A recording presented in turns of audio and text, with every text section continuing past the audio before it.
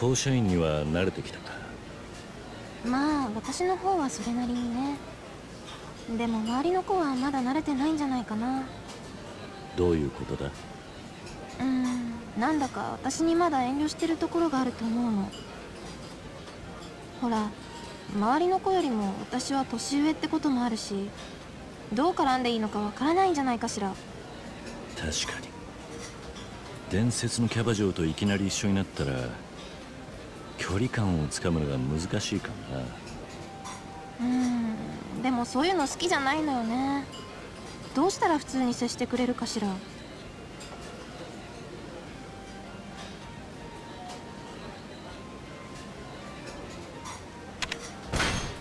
キララから歩み寄ってみるのはどうだ？私から？ああ。やはりキララみたいな伝説のキャストにいきなり話しかけるのはハードルが高い。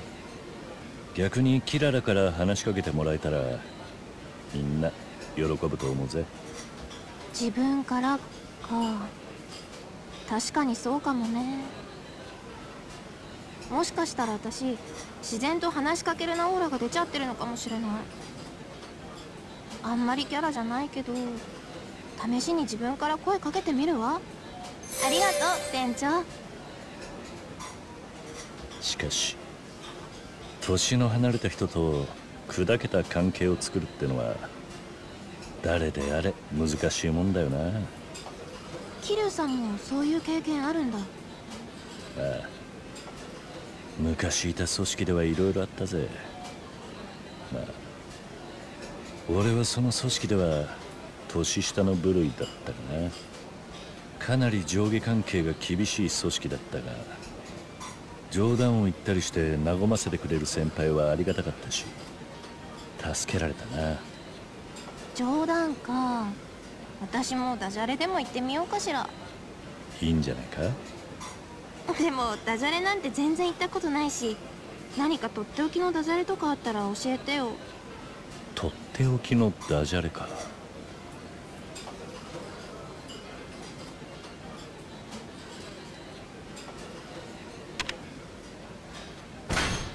キララは赤裸々。とかはどうだ？ネタはどうかと思うけど桐生さんが言うと面白いね。そうか。うん。おじさんが頑張って考えてくれた感があってすごくいいと思うよ。私のためにありがとうおじさん。おじさん。そういえばキララは趣味とかはあるのか？趣味ああ。趣味の話でもすれば盛り上がりやすいんじゃないかと思ってな。趣味はいろいろあるけどそうね。最近はギャンブルに興味があって。ギャンブル？うん。この前初めてやってみたんだけどレースの予想が的中してすごい嬉しかったの。それまではあまりやってこなかったんだけどあれはハマっちゃうのもわかるなって思った。私もハマりすぎて散財しないように注意しなきゃって思ってるんだけど。はあ。キララがハマったギャンブルってのは？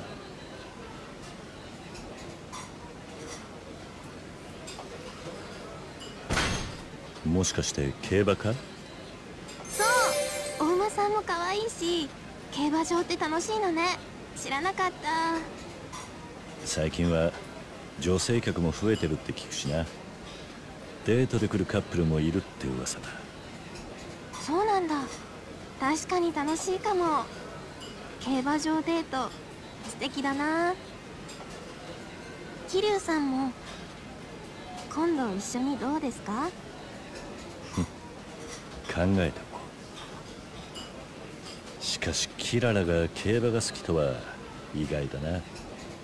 そう？とっても奥深くて面白いですよ。競馬。かけ方によって人間性が出るところとかも面白いなって思うポイントかな。人間性？うん。大穴をつくか本命にすがるか複数にかけるか一つに絞るか。どういうかけ方をするかにその人の性格とか本性が結構出るのよね。ほうなるほどな。キララはどういうかけ方をするんだ？私はお金というよりは夢を買いたい感じだから大穴とかオッズの高い馬に絞ることが多いかな。桐生さんは競馬をやるとしたらどんなかけ方をすると思う？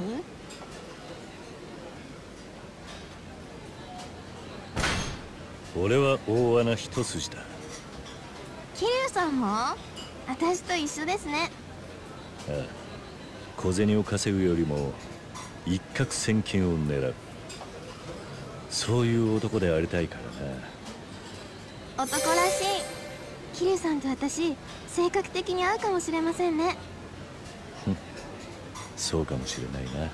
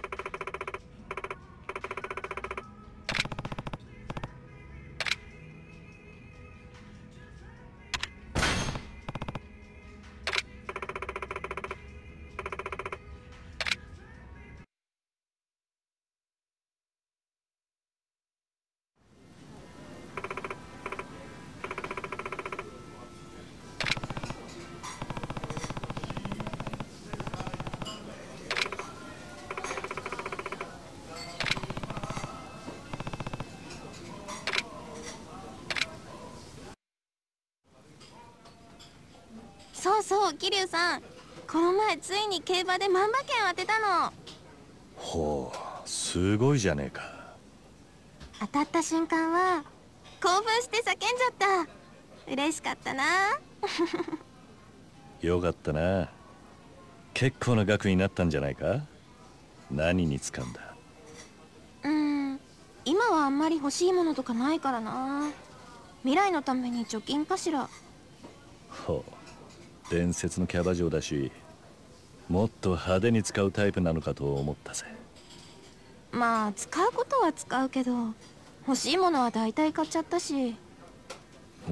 そうか。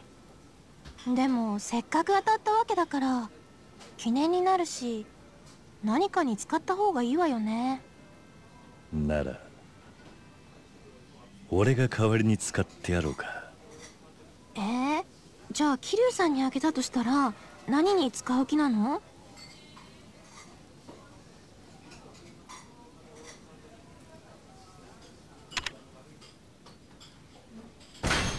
競馬だ。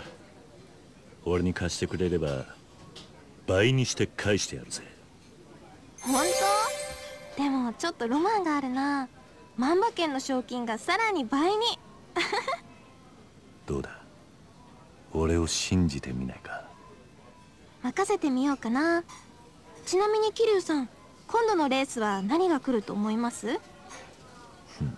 さあな俺はカズマだから一枠にかけるか。うわ適当。やっぱり任せるのやめよっと。しかし競馬の賞金を将来のために貯金か結構堅実なのか？全然。でも将来不自由しないくらいのお金は常に残しておきたいとは思うのよね。これから結婚して家族もできてってなったらいろいろお金が必要になるし。ほう。結婚願望はあるのか？ありますよ。いい人がいたらしたいな。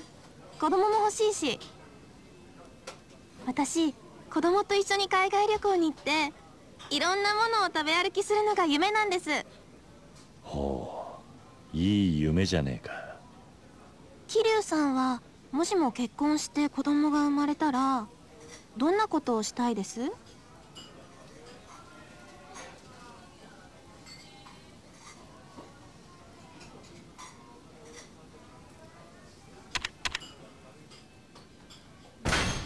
一緒に酒を酌み交わしたいな。お酒か。いいですね。だいぶ先の話にはなっちゃうけど。ああだが自分の子供が立派な大人に育ったことを改めて実感できると思うしな。きっとその時の酒はうまいだろうと思うんだ。素敵。私もその場に一緒にいたいかも。なら俺と子供を作らねえとな。そうですね。検討しましょうか。結婚の話のついでに聞くがキララはどんな男がタイプなんだ？うーんそうね。一番はノリのいい人かなノリのいい人。ええみんなが盛り上がってる時に一人でクールみたいな人はちょっと苦手。あと歌が上手な人とかも好きかな。あとは腹筋が割れてる人。まとめるとノリが良くて歌が上手で腹筋が割れている人か。そうなりますね。そんな人がいたら惚れちゃうなほほう。なるほどな。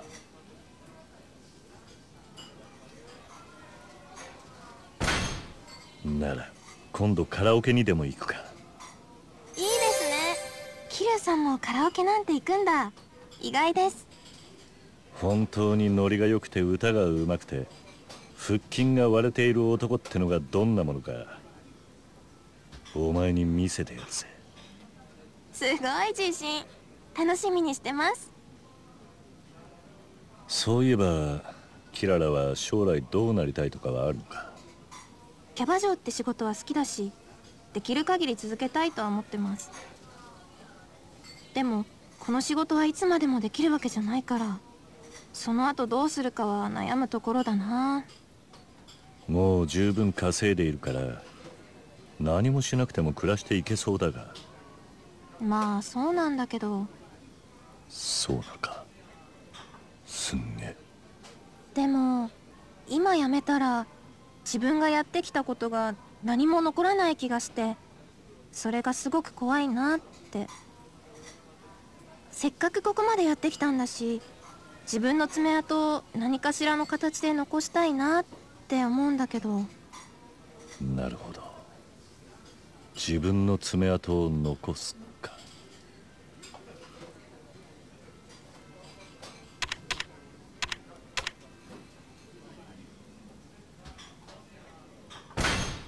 本を出版するなんてのはどうだ？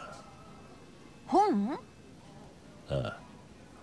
伝説のキャバ嬢のテクニックやノウハウを本にまとめるんだ。キャバ嬢だけじゃなく他の職業のやつらにも役立つかもしれない。確かにありかも。面白そう。でも私なんかにできるかな。本とかあまり読まないし自信ないななら俺が手伝ってやるぜ。本当？桐生さん得意なの？いやあまり。そう。でもいい案だと思う。参考にします。ああそうしてくれ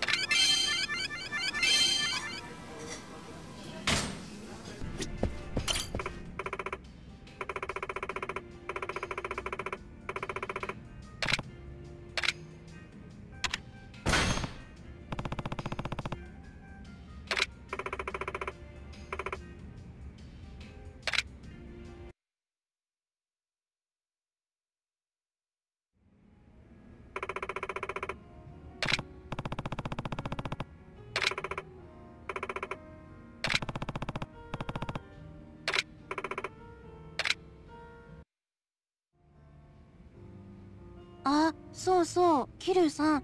この前ついに私あれになっちゃった。あれ？恥ずかしいんだけどぎっくり腰になっちゃったの。ぎっくり腰？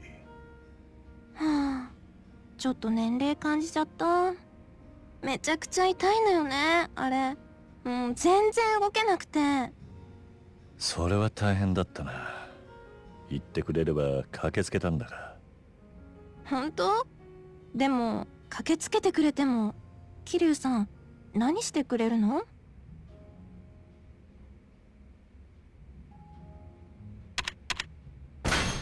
熱い応援を届けるぜ。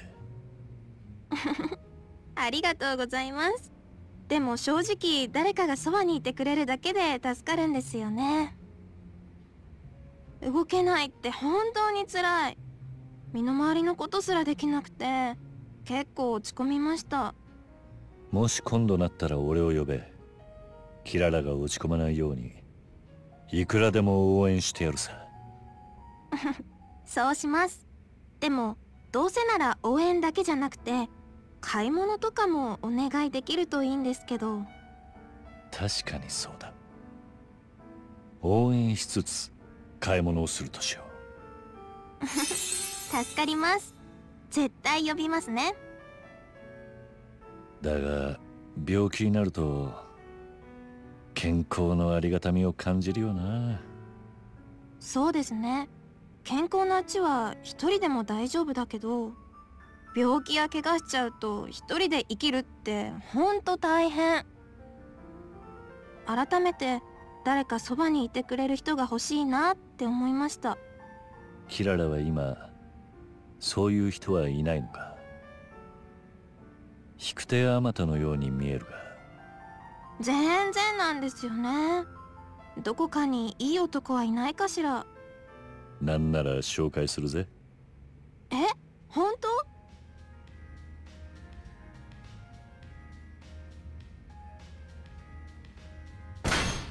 俺なんかどうだ？え？桐生さん？ああ不器用だしキララに見合うような相手じゃないかもしれんがな。そそんなことないと思うけど本気で言ってくれてるなら私も。まあ現実的には無理だけど。無理？店長がキャストに手を出すのはご法度らしいからな。こんなにいい女が目の前にいるのに切ないぜなら店長を辞めた時には私とお付き合いしても問題なくなりますよね。ああそうなるな。なら早く辞めてくれないかな。なんてね。冗談です。そういえばあれからフォーシャインはどうだ？無事に馴染めたか？おかげさまで自分から話しかけてきっかけを作ったら若い子たちとも仲良くなれたわ。それはよかった。特に小雪ちゃん。あの子は可愛いし人懐っこいしいい子ね。ああそうだな。まあまだどんくさいところはあるが。でもあの子は将来的に伝説のキャバ嬢になりうる逸材だと思う私が言うんだから間違いないわ。昔のユキさんに似ているわね。確かに小雪もユキに憧れてこの世界に入ったくらいだからな。あんな素敵な子に憧れてもらえてユキさんが羨ましいわね。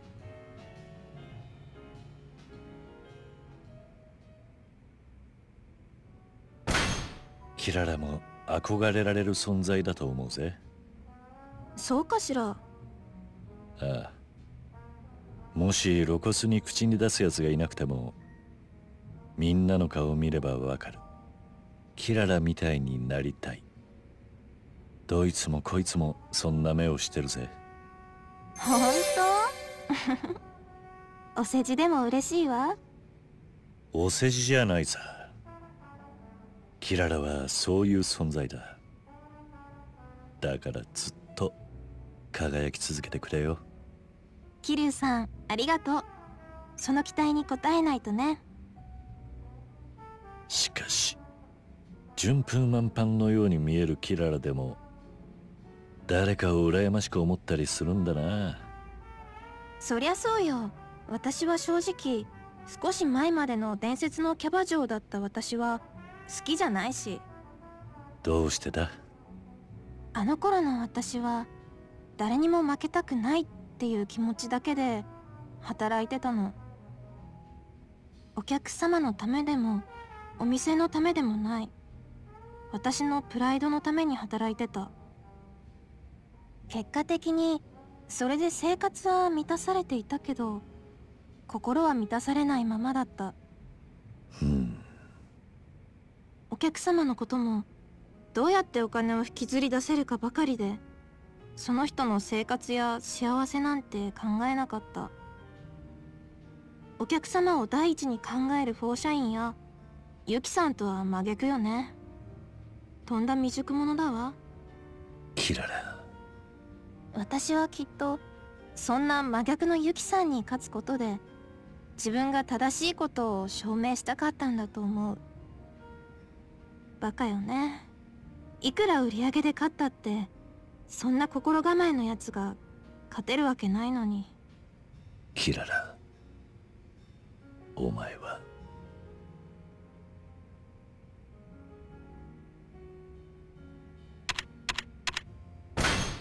ユキに憧れていたんだな。憧れか。そうね。そうかもしれないわね。自分には絶対になれない存在そして自分がなりたかった存在。だからこそ執着していたのね。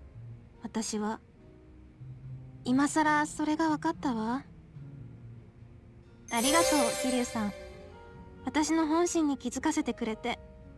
なに俺は話を聞いていただけさ。だが今のキララにはユキと同じような温かい魅力を感じる。今のお前なら本当の意味でユキに勝てるかもしれねえぜ。えへへ。そう？なら現役である以上それを目指さないとね。憧れのユキさんに近づけるように。自分が一番だって胸を張れるように。頑張らないと。ああ今のキララだったらきっとなれるさ。